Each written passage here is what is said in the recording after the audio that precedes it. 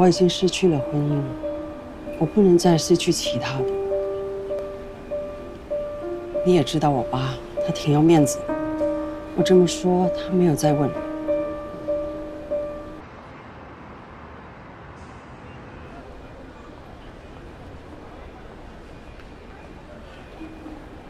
你该去登记了吧？还有时间。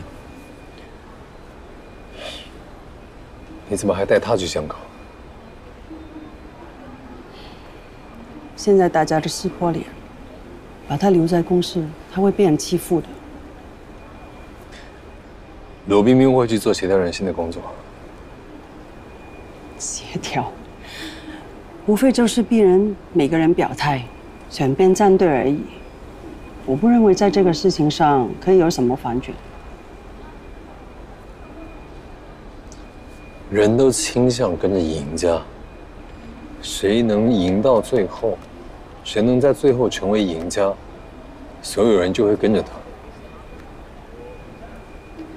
那是大家都认为陈开一很有机会取代你，成为新的出版人。所以这就是为什么我现在要搭上前往巴黎的班机。我已经预约好了总编辑的时间，陈开一的丑闻法方已经知道了。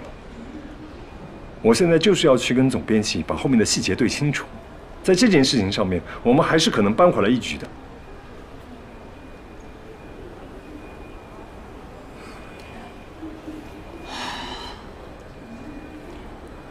我还有三个小时才登机，我想休息一下。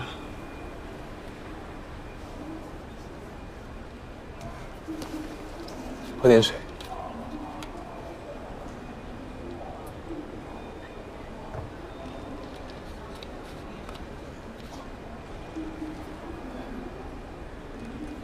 你觉得这次去香港成功的几率有多大？我跟我爸和我哥已经谈过收购的事情，他们会帮我联系最能直接帮我的朋友，我也会去见几个投机界的前辈。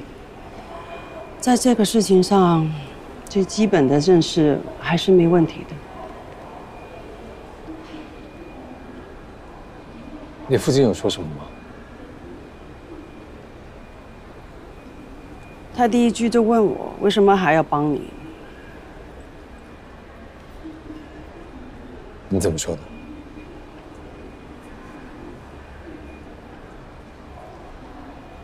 我说我已经失去了婚姻，我不能再失去其他的。你也知道我爸，他挺要面子的。我这么说，他没有再问。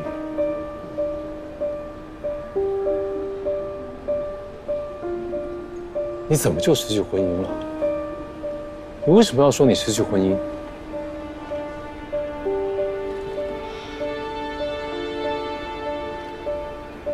我真的累了，你先去登记吧。等你爸你回来的，我们再谈好吗？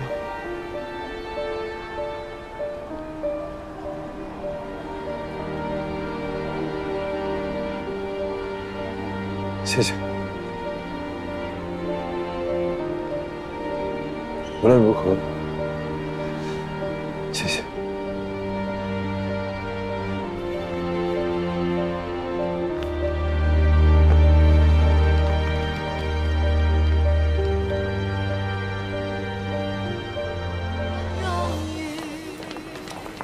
米娜，五分钟后来我办公室。三件事。如果这段时间给大家出入大厦带来什么麻烦，我向所有人道歉，但是绝不能影响工作。第二，任何人不能接受任何渠道的采访，所有口径必须统一到公关部。第三件事，我结婚了。喜糖等一下让李娜发给大家，不办婚宴，不办派对，不收任何礼物。下月刊所有选题，今天之内我必须看到。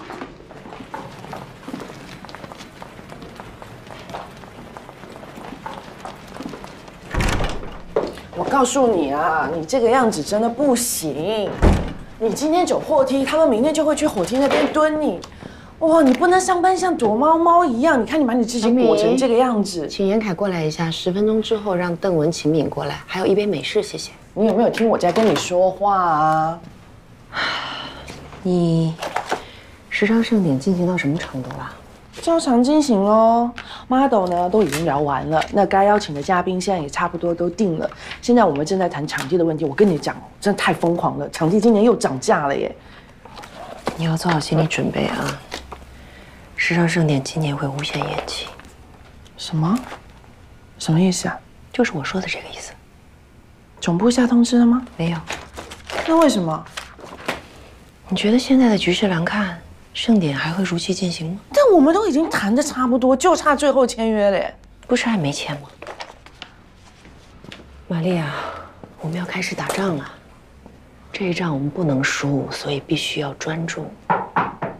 进，这里没有钱，去买点喜糖，买好分给同事们。好。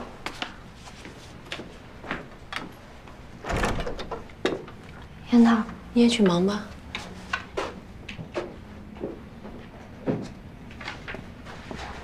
时尚盛典无限延期了，延期了。找你不是这个事儿，坐。新媒体事业部要做起来了，我想让赵鑫做负责人。挺合适的，他之前做了个公众号，影响力也挺大的，我安排人配合他工作。新媒体事业部和专题部是平级部门，不受专题部领导。新媒体事业部的人员，请他自己选。以后你们会是竞争关系。竞争。新媒体事业部和专题部是两个独立的内容部门，产生的费用和效益独立结算，每年都会有考核，考核的结果直接和年终奖金挂钩。好。还有，从今天开始，你不只是要做专题总监。还要兼任代理副主编，但我现在没办法公开这个消息，你也知道原因是什么，所以做好持久战的准备，好吗？进，我的意思说明白了吗？明白了，走。还有，回去给内容部的人开个会，这两期稿子质量下降的厉害。邓文，哎，把那些楼下的狗仔队赶紧给我搞走，不管你用什么办法。好，交给我。公关部拟个通告，宣布今年时尚盛典延期，具体举办日期待定。那什么原因呢？不可抗力。行，我去办。秦敏，公司成立新媒体事业部，招新做负责人，你约谈他一次，看看他对人力待遇方面有什么需求，能满足的尽量都满足。行。尽快找一个新的广告总监。鲁文斌的辞职申请，上面还没批呢。不管他，我找的公司已经开始跟法方谈收购盛装的全部细节问题，两周之内会有实质性进展。